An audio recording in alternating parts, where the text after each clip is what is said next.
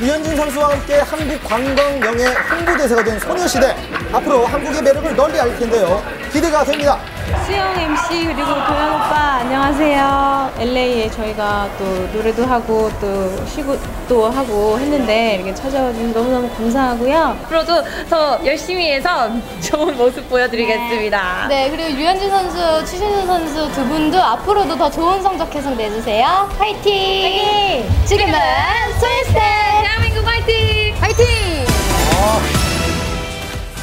네, 저도 반갑습니다, 세 분. 아, 세 분 아름다운데요, 진짜.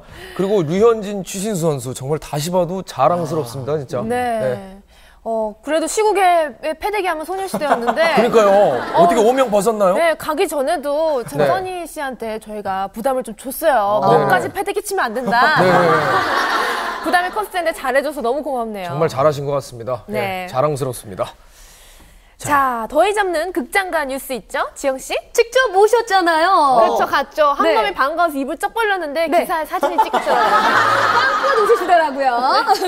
자, 압도적인 예매율 1위. 살국열차가 올여름 극장가를 접수하러 옵니다. 김수현, 이병헌, 수지, 한예슬 등 탑스타들이 총출동해서 화제가 되고 있는데요. 생생한 취재기, 채널 돌리기, 있기, 음, 없기.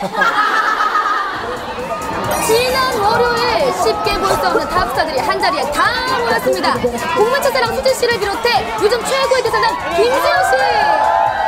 아우 훈훈해요. 그리고 오랜만에 공식 석상에 참석한 한예슬 씨 정말 내노라는 스타들이 총 출동해 영화제를 방북했는데 어 이때 보이는 익숙한 얼굴 어 앨범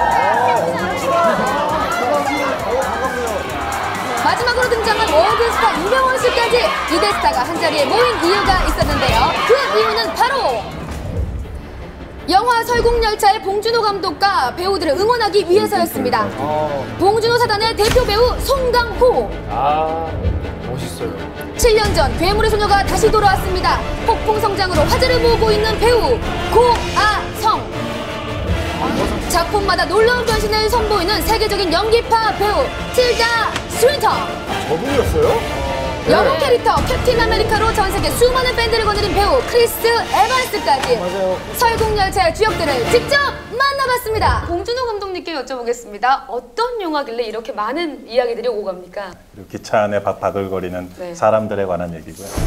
만화에서 영감을 받은 뒤 영화로 탄생하기까지는 8년 체코 올 로케 최고의 스태프들이 참여한 설국 열차는 한국 사상 최대 제작비가 투입됐다고 합니다. 의사소통에 전혀 문제가 없으셨어요? 통역분들이 많이 계셔서 네. 전혀 문제는 없습니다. 그리고 뭐 영화 만드는 메커니즘은 전 세계가 다 똑같아서 네. 누구나 다 이런 영화를 만들 수 있습니다. 한국 배우는 다 단둘이 나오니까 네. 아무래도 예, 저는 아예 말을 안 했습니다. 뭔가 다른 점은 없던가요? 식생활, 음식의 종류들, 스텝 배우의 90%가 이제 뭐 미국, 영국, 체코 분들이라서 네. 체코 음식이 되게 이렇게 기름져요. 귀국할 때 한번 네.